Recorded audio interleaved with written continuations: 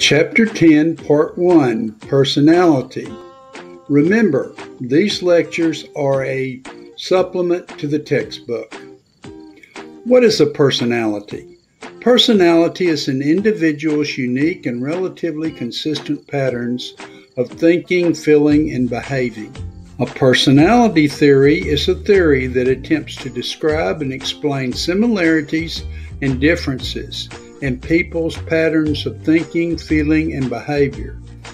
Personality theories can be roughly grouped under four basic perspectives.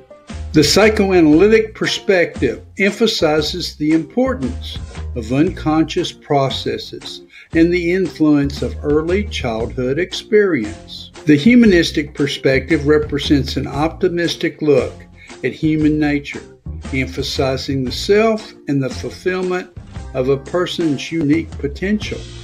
The social cognitive perspective emphasizes learning and conscious cognitive processes, including the importance of beliefs about the self, goal setting, and self regulation.